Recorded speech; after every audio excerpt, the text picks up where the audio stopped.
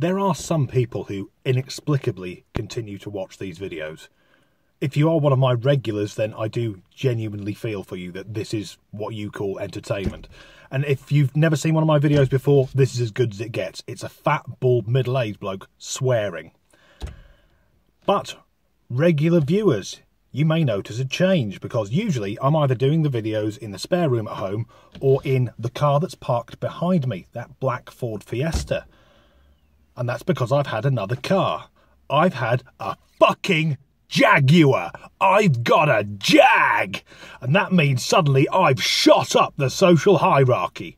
Now, I should stress this car is far from new and it didn't cost very much. Also, it's an X type, so it's basically a Mondeo turbo diesel in a party dress. But that doesn't matter because it's got Jaguar on it, so I can be an insufferable arsehole. Now, as men are prone to do, when we meet each other, we will discuss what car do you drive. And from now on, if I meet someone and they go, I've got a Peugeot, I will go, Away from me, you fucking peasant! Are you not aware you're addressing a Jaguar owner?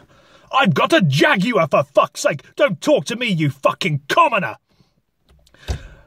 And I suppose the next step for me now is I'll have to become a Freemason start shooting the wildlife and take up golf. So this is me, disgruntled Danny, in my fucking jag.